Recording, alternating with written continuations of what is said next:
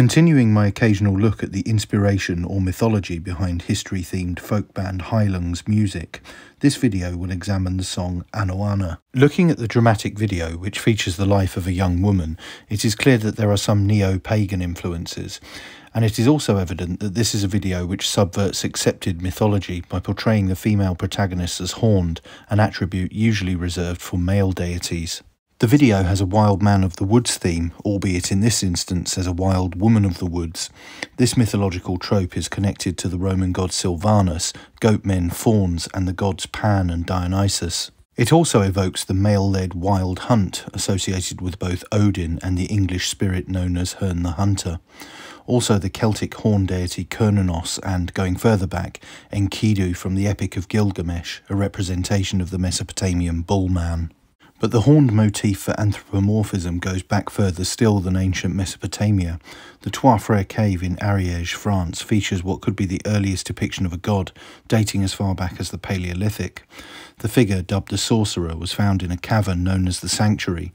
It is determined to have been made around 13,000 BC. In the 1920s, a Catholic priest called Henri Breuil sketched the figure, which was a horned humanoid creature standing upright on two legs.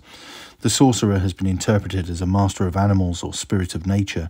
Its presence in the cave gave rise to theories that ritual magic ceremonies took place there in what would have been one of the earliest known demonstrations of religious devotion. On seeing the sketch, the folklorist and anthropologist Margaret Murray said it represented the first depiction of a deity on Earth.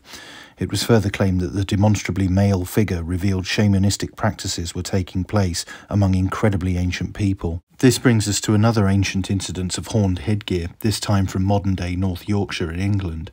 The Mesolithic site known as Star Carr yielded incredible finds after the find's discovery in 1947.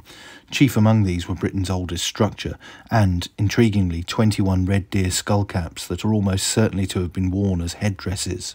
Opinion is still divided over what function these headdresses may have served, with some suggesting that they may have been used by hunter-gatherers as aids for blending in and stalking deer as prey, although others favour the explanation that they were used for ritual purposes, which would be an intriguing prospect. And it's one that's actually borne out by historical discoveries because around the same time as the Star Carr headdresses, when Britain was still connected to mainland Europe via the now sunken Doggerland, there was an example of the female Bad Dürrenberg shaman, who was a young woman who wore a horned or antlered headdress, as well as a ritualistic costume that included a number of other animal bones.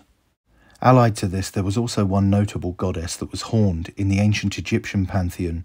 The goddess Hathor was the goddess of love, beauty, music, dancing, fertility, and pleasure.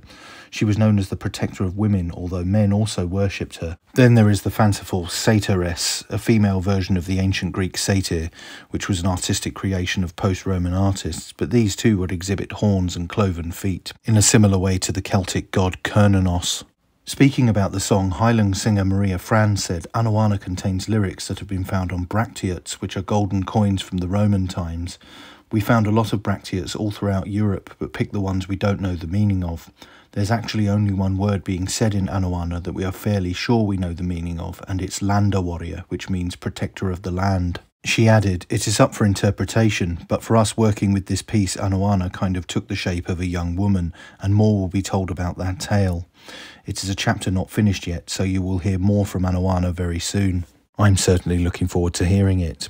That's it for this video. Don't forget to like, share, and most importantly, subscribe. And thanks for watching. Just a reminder, you can also support this channel on Subscribestar. All contributions are gratefully received and will help the channel immensely. Bye for now.